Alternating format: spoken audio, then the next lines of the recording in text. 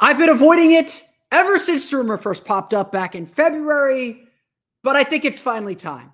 Time to get into the nitty gritty, time to dive into the details. Should the Magic go after Klay Thompson? The case for and against signing the four time champion on today's episode of Locked On Magic.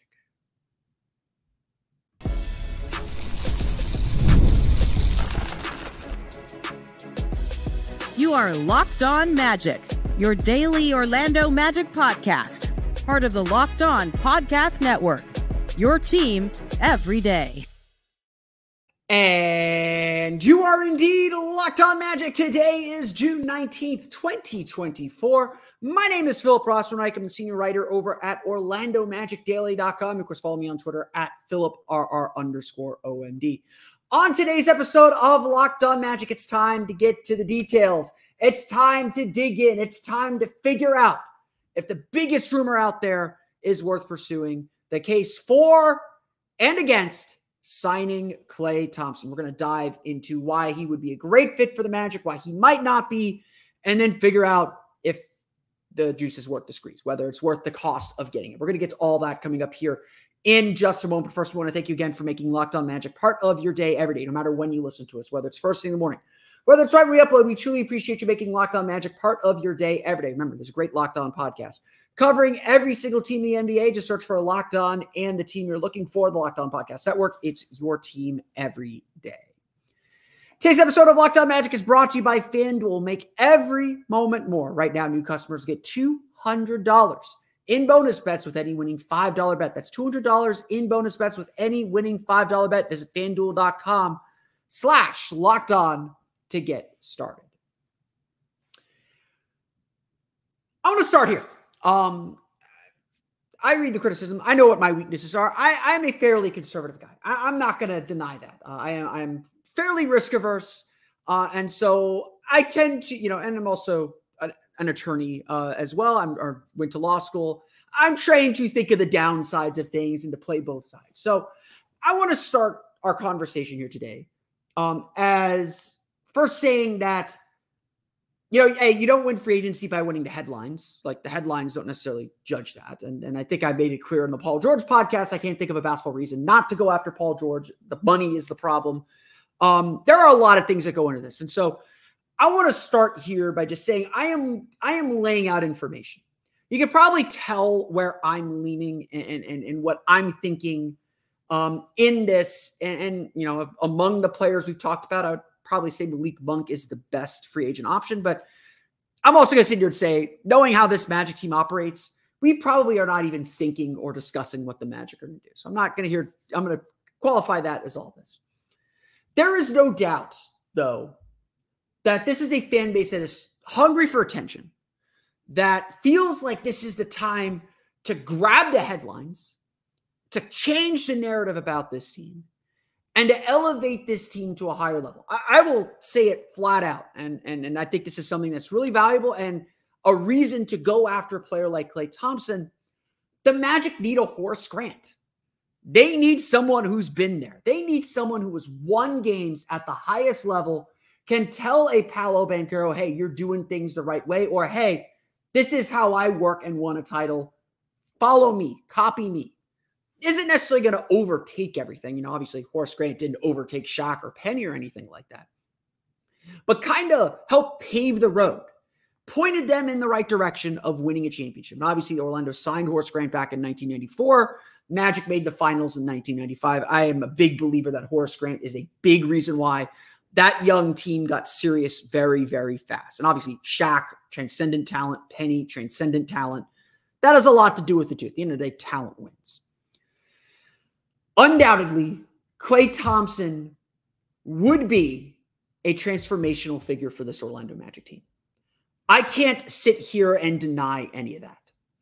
If you've listened to me on this pod for a long time and, and we talk about shooting so much, and the Magic have not had quality shooting in 10 years and more than 10 years since Dwight Howard left, since JJ Redick and Ryan Anderson were here, and Rashard Lewis and all those guys the Magic have signed some good shooters, whether it's Channing Frye, whether, you know, whether it's DJ Augustin. They've had some good shooters, but they haven't had a consequential shooter, a shooter that will get defenses to respect him just by his presence on the floor.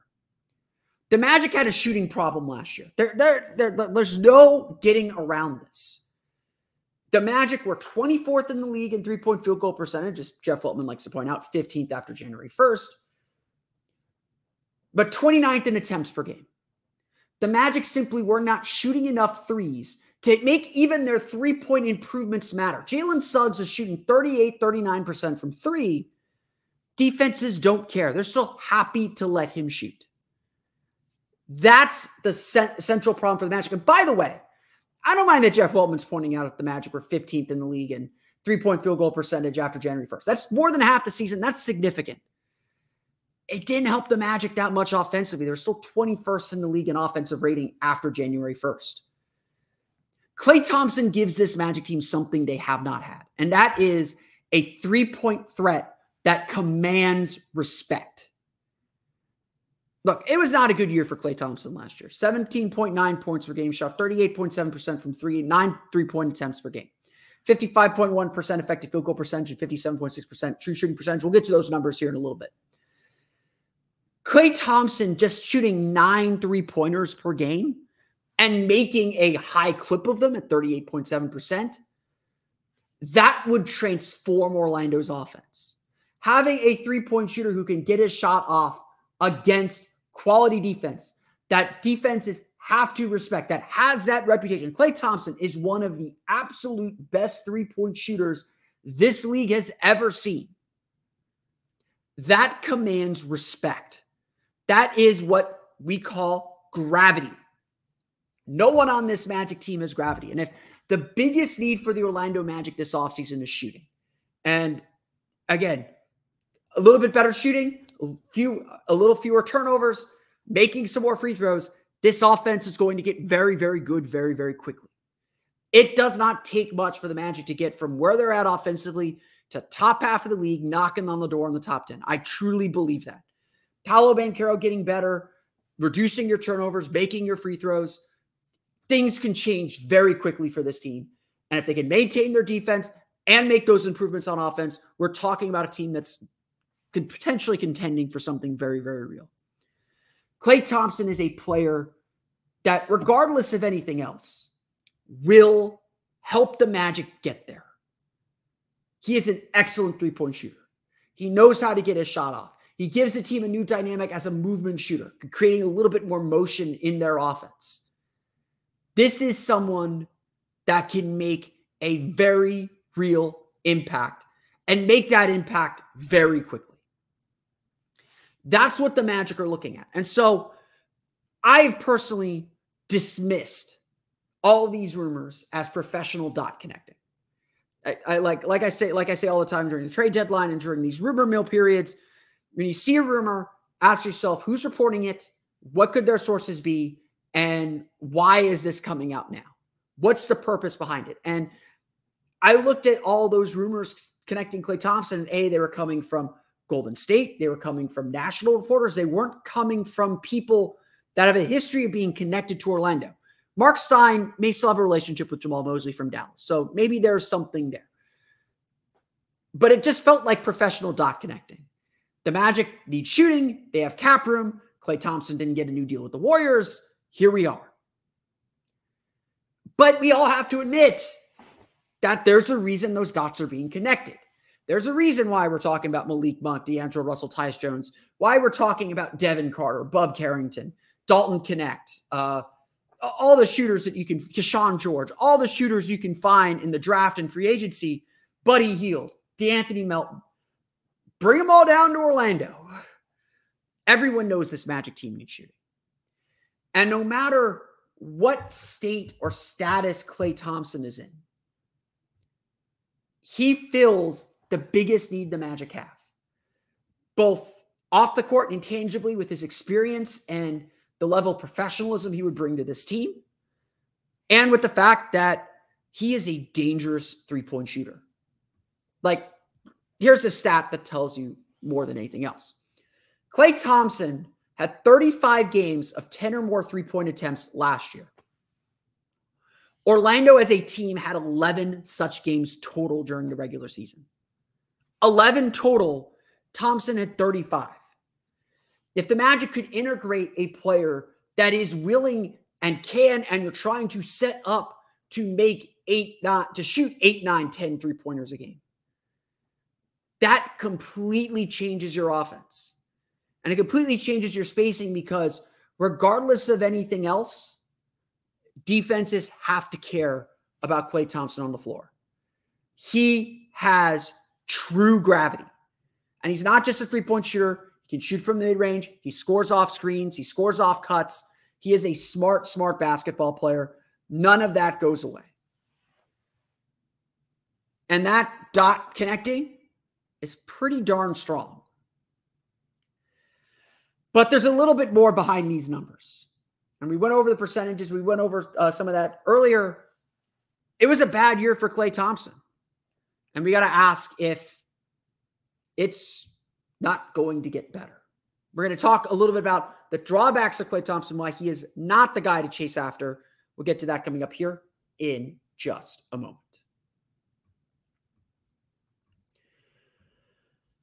But first, it's time for a quick word from our friends over at eBay Motors. Passion, drive, and patience. The formula for winning championships is also what keeps your ride or die alive. eBay Motors has everything you need to maintain your vehicle and level it up to peak performance. Superchargers, roof racks, exhaust kits, LED headlights, and more. Whether you're into speed, power, or style, eBay Motors has you covered. With more than 122 million parts for your number one ride or die, you will always find exactly what you're looking for. And with eBay Guaranteed Fit, your part is guaranteed to fit your ride every time or your money back. Because with eBay Motors, you're burning rubber, not cash. With all the parts you need at the prices you want, it's easy to make your car the MVP and bring home some huge wins. Keep your ride or die alive at ebaymotors.com. Eligible items only, exclusions apply. eBay Guaranteed Fit is only available to U.S. customers.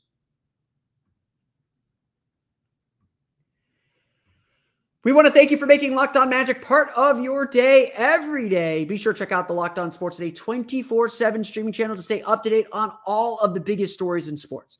You don't want the national coverage. You don't want the yelling. You don't want the shouting. You don't want the screaming. You want the best analysis from people who know their team best. Just imagine there's someone like me who knows the ins and outs and everything about the Orlando Magic for pretty much every team in the NBA and pretty much every team in the American sports world.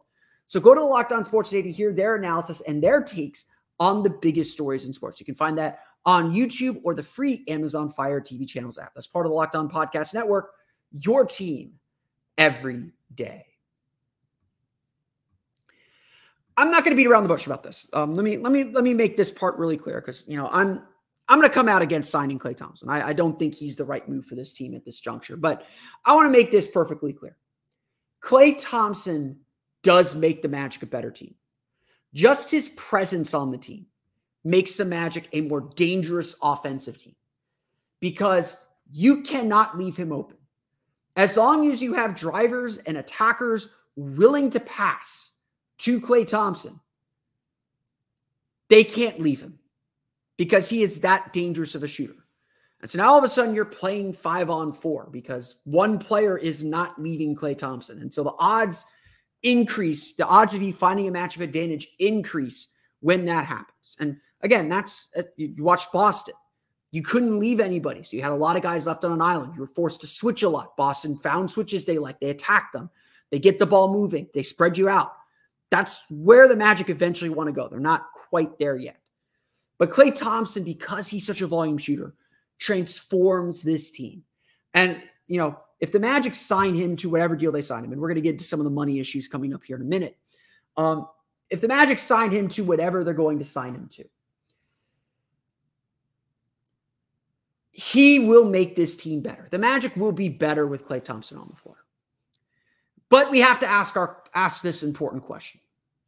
The Magic will be paying for past performance. They will not be paying for future performance. So the question will be whether they will get the full value of whatever they're signing him to. I mentioned those numbers earlier. Klay Thompson shooting 38.7% from three, um, shot 38.1% on catch and shoot threes. For the Magic, those are fantastic numbers. Like Jalen Suggs had a breakthrough three point shooting. year, He shot about 39%. Klay Thompson's obviously doing this on more volume. These are fantastic numbers for Klay Tom, for, for the Magic. But for Klay Thompson, this was undoubtedly a down year. That 38.7% three point shooting was just the second time in his career he shot worse than 40% from three. More alarmingly, perhaps, two of those instances occurred in the last three seasons. His 38.4% shooting on catch and shoot three pointers put him in just the 68th percentile in the league. He was at 41.4% in 2023. He made 40.5% of his corner threes in 2023 compared to 35.7% last year. Thompson won't get a ton of open threes. He takes a lot of contested shots. He makes a lot of contested shots. He gets this jumper up quickly, doesn't need a lot of space to get it up. He is, and obviously, he's still making enough to get the respect. He's got the reputation that's earned him respect as a shooter. We're talking about going from an elite shooter to just a pretty good shooter. So I want to make sure you understand that there's those levels. But Klay Thompson's going to turn 35 in December. He is very clearly on the tail end of his career. And while injuries are not a concern, he's played 60 plus games. Uh, he played 63, 64 games in 2023, played 70 plus games in 2024. The injury stuff is a little bit behind him. It's clear he's slowing down.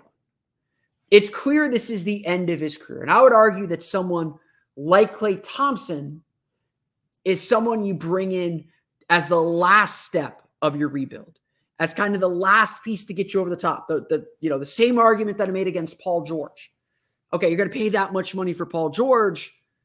He's got injury. He's he's got injury issues. He's got an injury history. Um, is he going to be happy as a third fiddle? You know all that stuff. Philadelphia's windows now. They need to win now.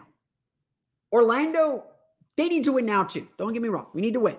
We need to make the playoffs again, compete, get to the second round if you can.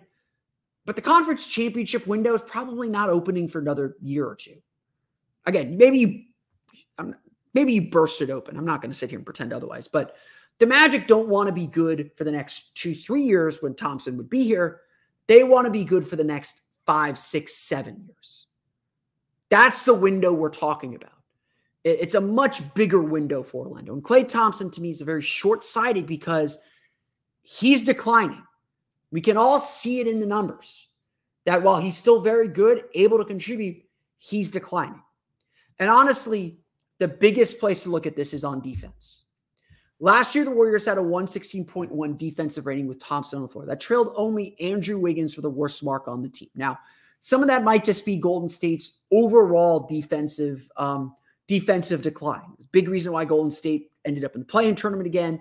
Big reason why Golden State missed the playoffs entirely, losing to the Kings uh, in that play-in game. In 2023, the Warriors had a 112-6 defensive rating with Thompson on the floor, though. So four-point difference. And the difference was the Warriors were 1.6 points per 100 possessions, worse than their overall average with Thompson on the floor. Last year, they were 0.8 points per 100 possessions better than the team's average in 2023. Again, some of that is team context. Not going to pretend otherwise. So maybe Klay Thompson comes to Orlando, much younger team, good defensive principles. Klay Thompson slides back in, is back being a positive defender. Back being, you know, back to being the best kind of defender he can be. You got Jalen Suggs next to him instead of Steph Curry. You know, you could put him with Jonathan Isaac a little bit.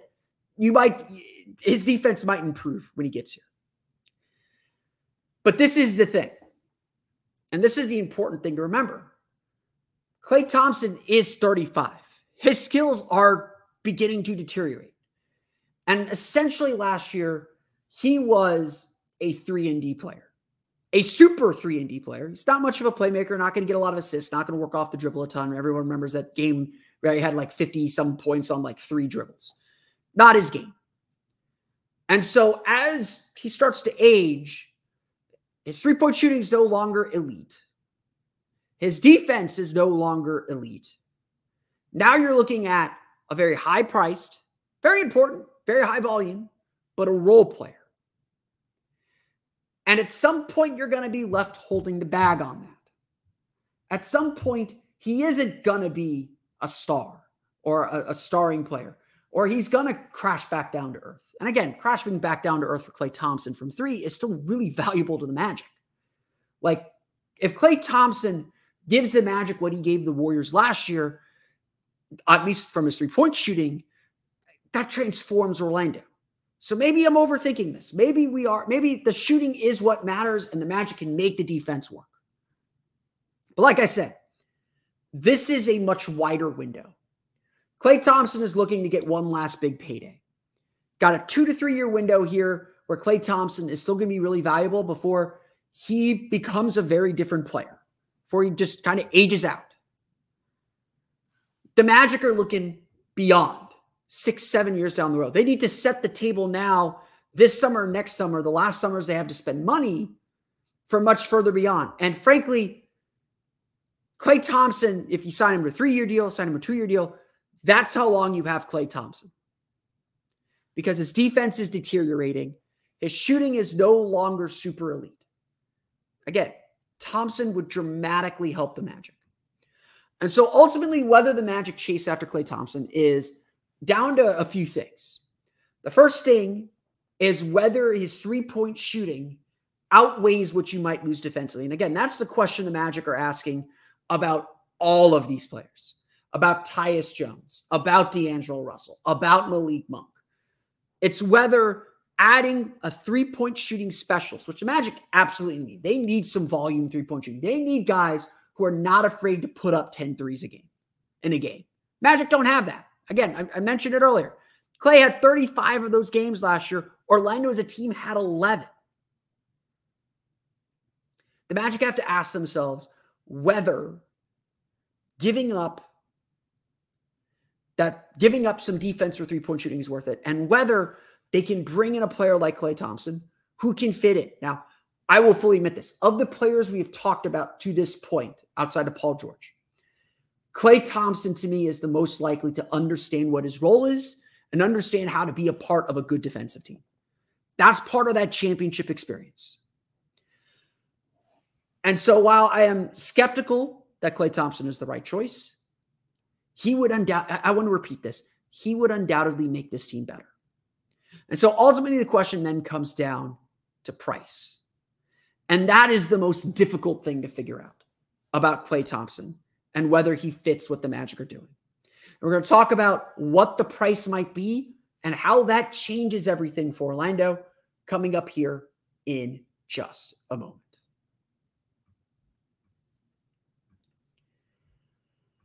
But first, it's time for a quick word from our friends over at FanDuel. Summertime means baseball. The NBA has put itself to bed, at least until Summer League.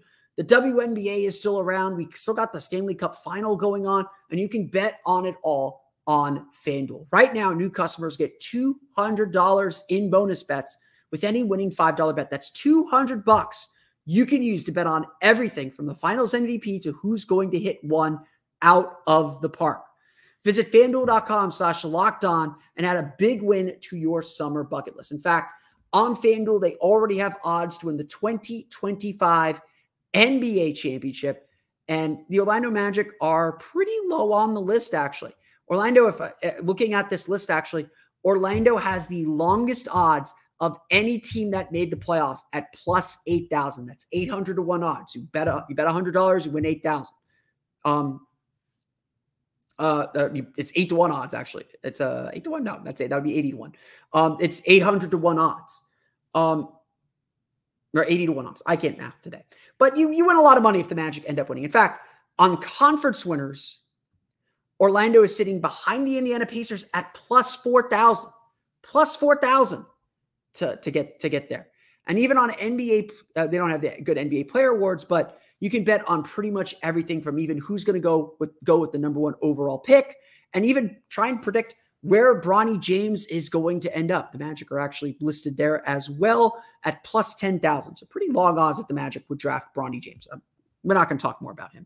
So visit fanduel.com slash lockdown and add a big win to your summer bucket list. Fan, FanDuel is America's number one sports book.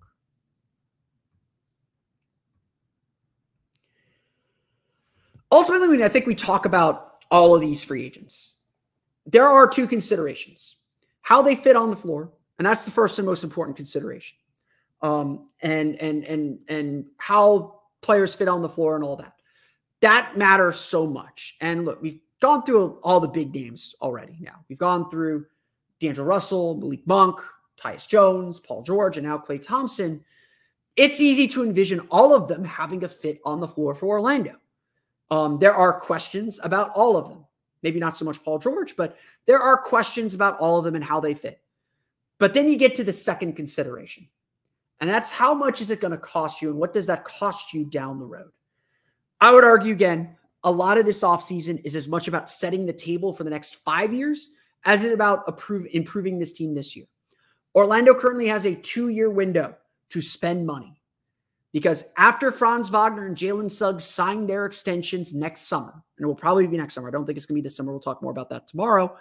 After they sign their extensions, the Magic don't have money to spend anymore. All this fun cap room talk, this 30 to 50 million dollars the Magic have to spend, it's gone in two years because Franz is going to be making 38, 39 million dollars.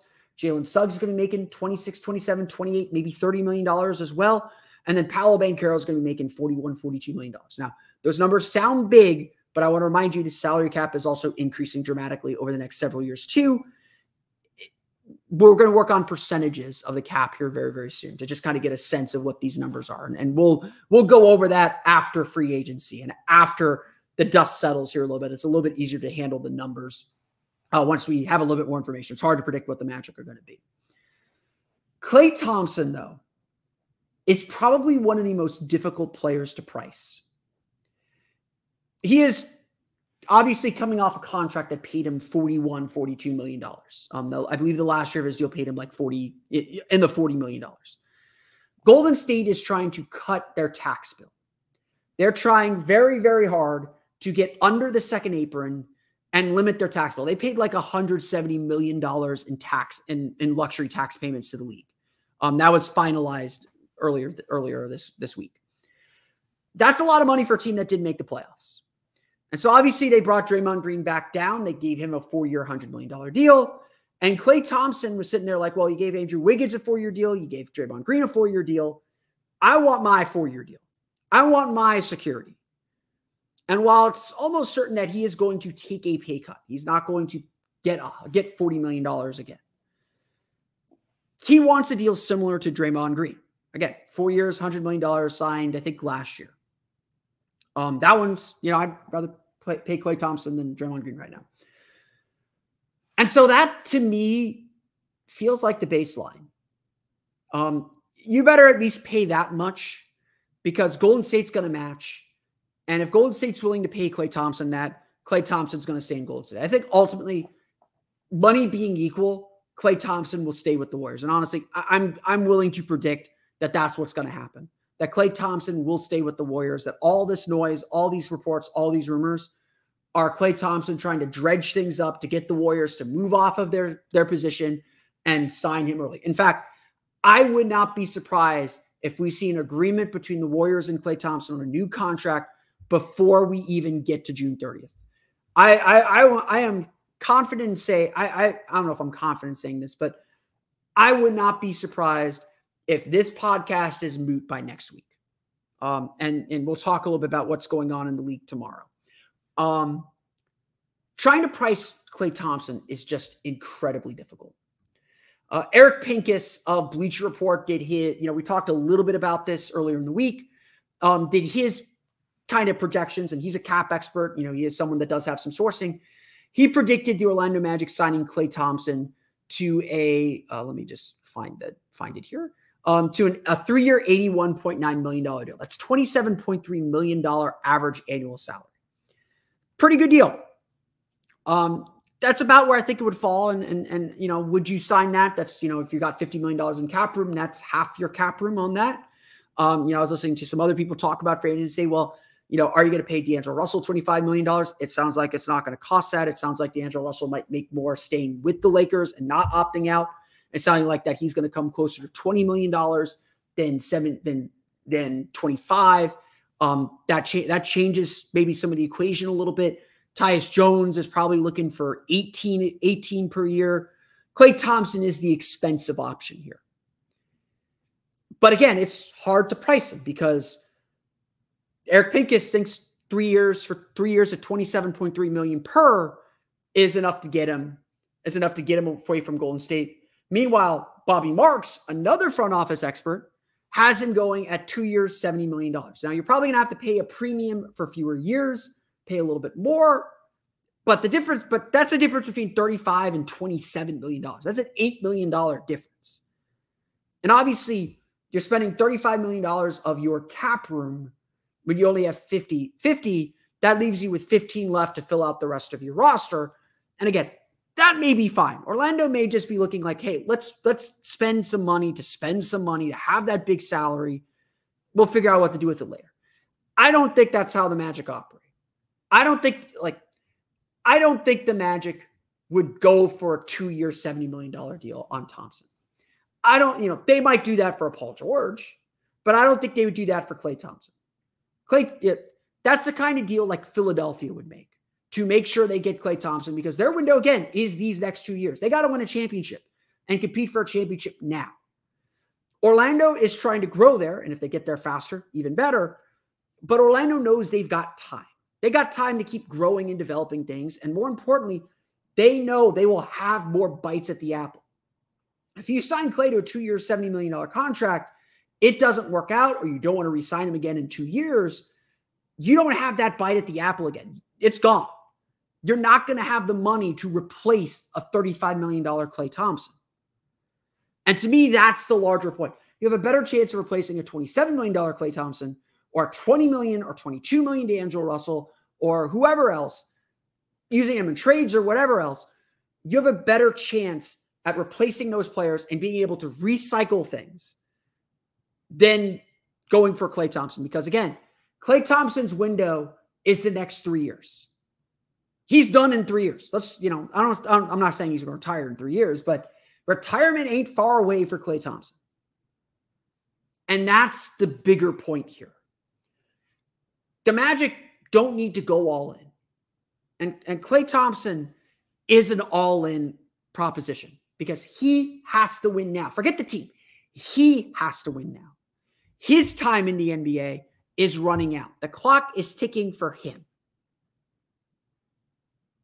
And the Magic have a little bit of a wider berth. They can be a little bit more patient, slow played a little bit, give themselves outs in case something doesn't work or in case something better comes along.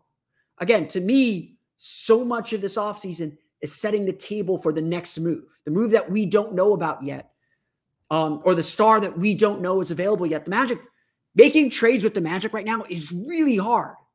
Like, yes, you could absorb a lot into cap room but you know, your only big salaries that you're willing to trade because the Magic are not trading Jonathan Isaac right now is Cole Anthony and Wendell Carter. And that's a $12 million salary and a $13 million salary. And yeah, you can take again take a lot into cap room, but that's not a lot to work with, both coming off of down years. The Magic needs some salary ballast, is what I'm is is for the next trade. And Klay Thompson just isn't that because in two years, he's going to be older and probably not worth the contract that he's signing. Again, you're signing him to a salary based on past performance more than future performance. And you need to be signing people for future performance because the Magic's future is more important than their present still. They need to be better in the present, they need to improve in the present. But we're talking about winning the title in 2027, 2028, 2029. 2025 is not is probably not the Magic's year. It could be. I'm not going to sit and pretend it's not. It could be. But we're talking we're talking realistically 20, 2027, 2028, 2029 as the years that this franchise should be competing for championships. And that's the time that we need to be preparing for. And that's why I'm not into the Klay Thompson signing. But if there's a takeaway from all this, it's that yes, if the Magic do sign Klay Thompson, if that is the direction the team is going, he would help a lot. The three-point shooting matters. I will I will probably talk myself into Buddy Hield as a bench bench scorer. Give me, sign me Buddy Hield to come off the bench, play alongside Anthony Black, alongside Cole Anthony, put him in that Joe Ingles role. And he gets cold, you have Jett Howard available, or he gets hurt, you have Jett Howard available. Give me, give me an extra shooter off the bench. Go get me another nice shooter to play that that off guard role next to Jalen Suggs. You know, maybe it's Kentavious Caldwell Pope. Maybe that's where you know you're going to sink twenty million dollars into him, sink twelve into give a give a two year 24, 25 to Buddy Hield or something like that. Maybe that's the direction the Magic are going. The Magic have a lot of directions they can go. It's it's pretty exciting what, what they can do. Um, they could just spend their cap room forward a year too. Like it's, I'm not, I don't think we should put that out of the realm of possibility as as as boring and frustrating as that might be. Klay Thompson, though, would help this team because shooting matters. It's just a question of whether the Magic want to go all in on Klay Thompson and his time frame rather than stick to their time frame. And that's why I think Klay Thompson is not the option for this Magic team quite yet. Timing just isn't right. The Magic are going to have to go for a player like him very, very soon. Now just may not be the time. I want to thank you all again for listening to today's episode of Locked On Magic. Of course, find me on Twitter at PhilipRR underscore OMD. Subscribe to the podcast on Apple Podcasts, Stitcher, TuneIn, Himalaya, Google Play, Spotify, Audacy, and all the places you download podcasts to your podcast-enabled listen device.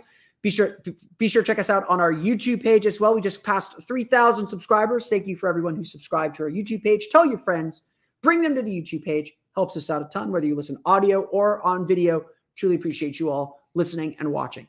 For the latest on the Orlando Magic, be sure to check out OrlandoMagicDaily.com as well. You can find us on Twitter at OMagicDaily.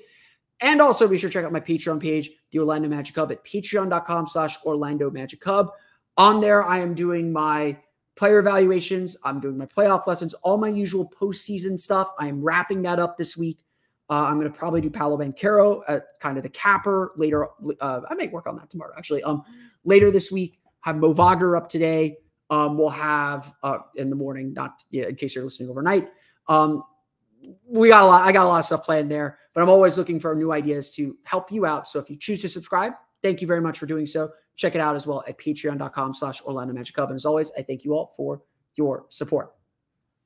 Now that you're done listening to me, be sure to check out the Locked On Sports Day 24 7 streaming channel on YouTube and now available on Amazon Fire TV and the free Fire TV channels app. Locked On Sports Day is here for you 24 7 covering the top sports stories of the day with the local experts of Locked On, plus our national shows covering every league. Find Locked On Sports Today now available on the free Fire TV channels app. On tomorrow's episode of Locked On Magic, we're going to go through the decisions the Magic have with their own free agents this offseason. Could the Magic bring back Gary Harris? Could the Magic bring back Markelle Fultz? What do the Magic do with Mo Wagner? I'll make some predictions. I'll make some statements about what I have the Magic doing this offseason with their own free agents and what that might tell us beyond, because the Magic could do anything with them already. They can already negotiate with them at the moment, although it feels like everyone's kind of slow playing that. I don't think teams haven't quite taken advantage of that, except for maybe Indiana with Pascal Siakam. But that's neither here nor there.